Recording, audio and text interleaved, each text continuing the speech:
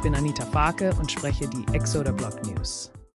Erneut Spionageverdächtige festgenommen. Drei Deutsche für China espioniert. Verhaftung von drei Deutschen aufgrund mutmaßlicher Spionageaktivitäten für China. Verhaftung von drei Deutschen aufgrund mutmaßlicher Spionageaktivitäten für China. Drei deutsche Bürger sind festgenommen worden, da sie verdächtig sind, für China spioniert zu haben. Die Inhaftierungen sind das Ergebnis eingehender Untersuchungen, die auf höchster nationaler Ebene durchgeführt wurden. Im Rahmen einer aufwendigen Razzia in verschiedenen Teilen des Landes haben Spezialkräfte des Bundeskriminalamts BKA die drei Beschuldigten festgenommen. Sie stehen unter dem Verdacht, über einen längeren Zeitraum sensible Daten an Informanten in China weitergegeben zu haben. Dies geht aus Informationen des Bundesjustizministeriums sowie des Bundesinnenministeriums hervor. Quelle Bundesjustizministerium, Bundesinnenministerium. BKA-Präsident Holger Münch betonte in einer offiziellen Erklärung, dass die Verhaftungen ein Zeichen dafür seien, dass Deutschland bereit sei, seine Sicherheitsinteressen zu verteidigen.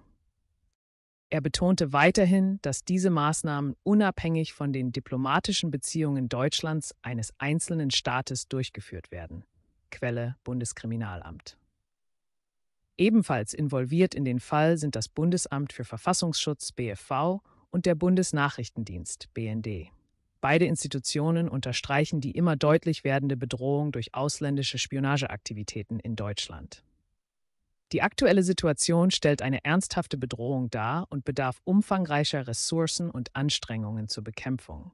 Quellen Bundesamt für Verfassungsschutz, Bundesnachrichtendienst. Die chinesische Regierung hat bisher keine offizielle Stellungnahme zu den Verhaftungen abgegeben. Die deutsche Regierung hat jedoch angekündigt, einen konsequenten und starken Standpunkt gegenüber denjenigen zu vertreten, die versuchen, in Deutschland illegale Aktivitäten auszuüben. Quelle Bundesregierung. Die anhaltenden Ermittlungen könnten zu weiteren Verhaftungen führen, während die Behörden ihre Bemühungen fortsetzen, ausländische Spionageaktivitäten in Deutschland zu bekämpfen. Anita Farke, Montag, 22. April 24. Danke fürs Zuhören.